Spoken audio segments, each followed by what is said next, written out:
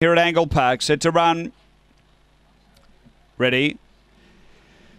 Away, speed in the centre here. Yentl Bale's going to cross and lead. Moving through, Todd Bless to second. They go to that first bend. Play alone, tucked away back on the inside. Uh, next is Top Weight and three away next, Magical Strike. Four away, Fine Delicacy. Six away, Mirror Bale. And out the back is Fully Fried. Down the back, leader Yentl Bale. Out by two to Top Weight. Uh, Todd Bless the outside. Three away, Magical Strike and Play Alone. On the turn, Yentl Bale still the leader. Still clear of Top Weight. And then came Todd Bless, but uh, all the way for Yentl Bale. Bale first, second, top weight, third, uh, Todd Bless, and then came Play Alone. Next is Magical Strike from Fine Delicacy, fully fried.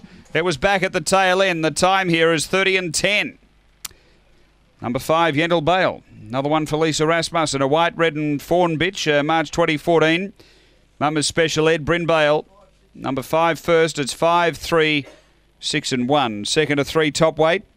Uh, Lisa Rasmussen, a black dog, November 2014, Premier Fantasy up and away.